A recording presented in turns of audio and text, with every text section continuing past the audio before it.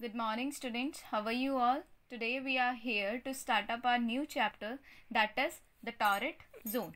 You all are aware about the torrid zone that lies between the equator to Tropic of Cancer and Tropic of Capricorn. So today we are here to discuss that in detail about the torrid region. This region has further two categories. The first one is the equatorial rainforest and the second one is the tropical desert. Here we will study about the vegetation, wildlife and people living in these two heat zones. that are these are all both are the heat zone. The first one is equatorial rainforest and the second one is tropical desert. So before starting that just look at these pictures.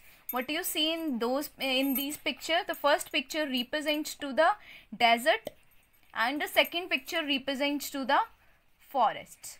Similarly, the first we are going to discuss about the equatorial rainforest and the second we are going to discuss about the tropical desert.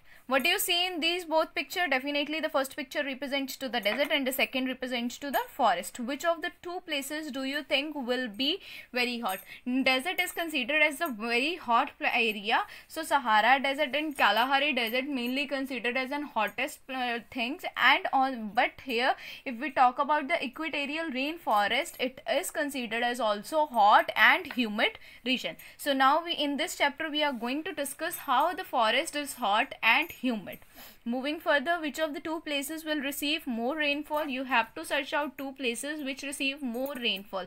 Mainly in India, it is considered that Meghalaya and Kerala receive more rainfall, but you have to search it by yourself and after that write the answer with the point of view by taking the forest and desert. How is the climate of these two places different from the place where you stay?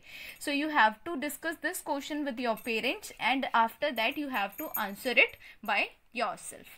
So moving further now we are going to start our first chapter third chapter that is the torrid zone.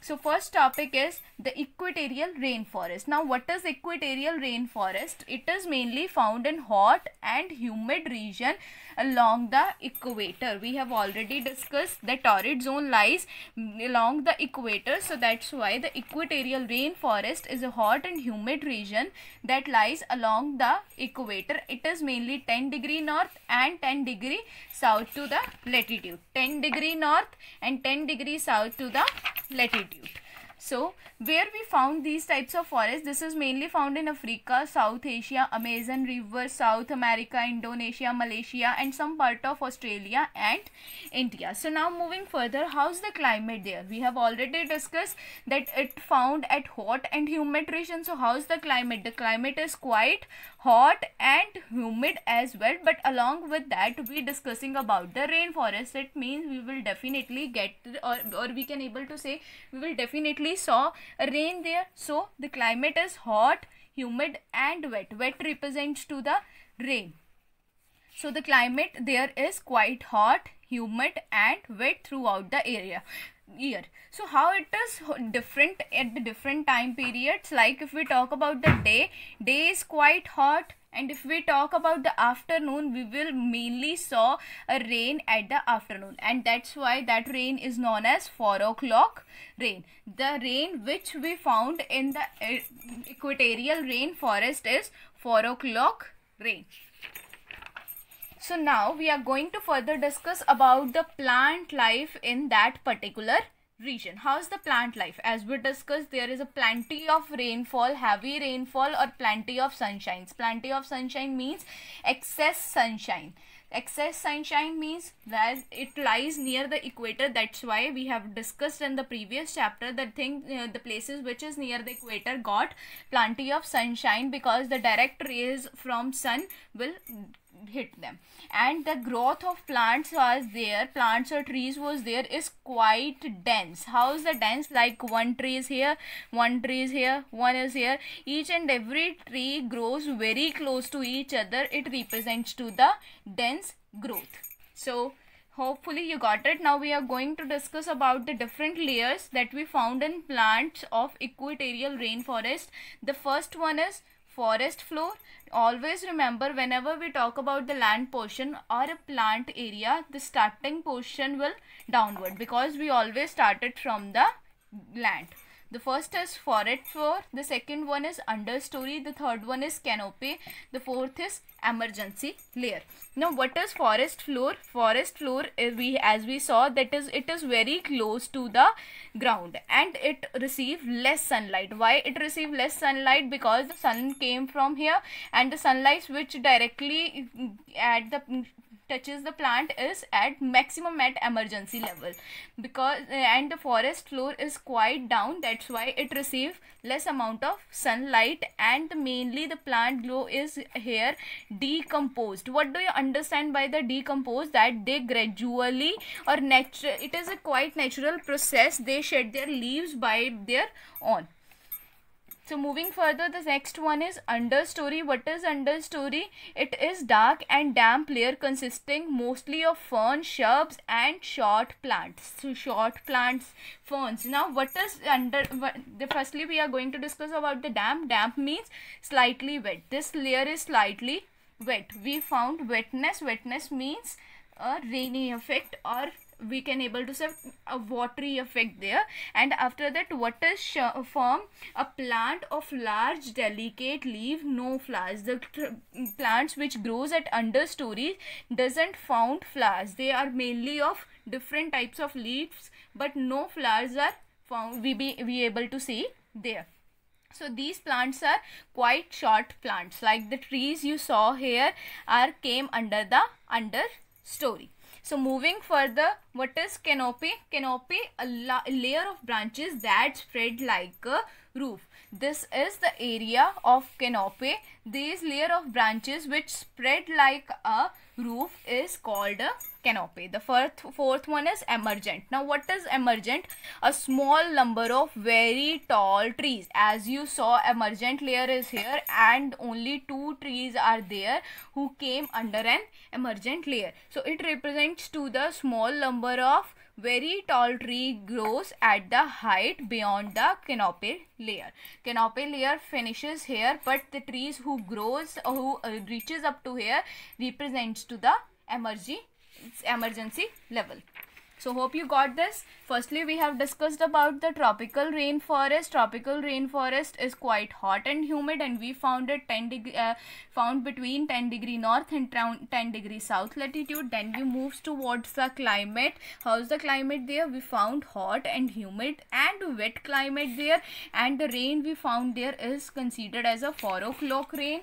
And moving further, we have discussed about the plant life. There are four layers of the plant life. The first one is the forest floor the second one is understory the third one is canopy and the fourth one is emergency layer. So moving further now we are going to discuss about the wildlife. In forest we found a variety of wild animals there. Like the some of the wild animal um, animals are african elephant mandrilla great apes these kind of wild animal we found in an equatorial rainforest of africa. And moving further if we talk about the rainforest of south africa where we found a jaguar anaconda spider monkeys such kind of animals we found in the rainforest of south africa. And these two trop mm, forest considered as an collectively considered as an ama amazon rainforest. So these are the name of animal which is given here. Just read these names carefully. And moving further we have life of people. How is the life of people who live in particular regions. The life of mainly we saw that the tribal peoples, tribes, the lady you look in the picture is tribe. So mainly we saw the tribe peoples are living there. They arranges their food shelters and medicine by themselves. They hunt fishes and the other fruit they grow different kind of fruits berries and roots and mainly they done the primitive type of farming. The primitive type of farming is considered as oldest form of farming uh, oldest form of agriculture. That is done just to satisfy their basic necessities or just to satisfy their hunger. And this is also known as shifting cultivation. Now, what do you understand by shifting cultivation? Shifting means um, changing one place to another. So, they are doing farming by changing the different patches of land which land is fit for that particular patch or that particular crop. They grow the crop there and after that leave that land and move to the another place. Which crops they grow like rice, maize, vegetable, palm, all such kind of uh, crops they grow at this region.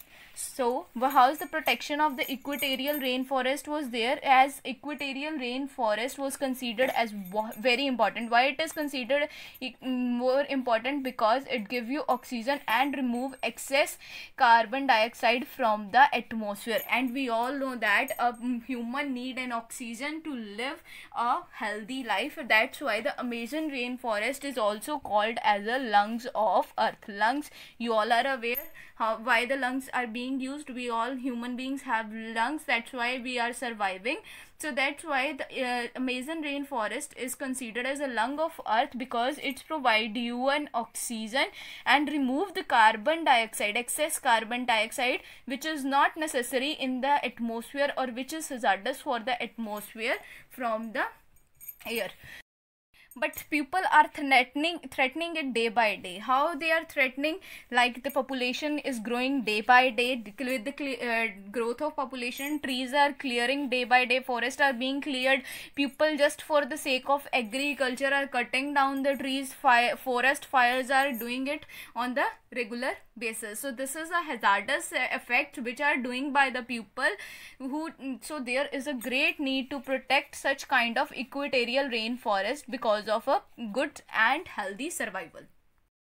Hope you got the first topic. In this topic we have discussed about the equatorial rainforest how is the climate there plant life wildlife and people living there and how why there is a need to protect the equatorial rainforest.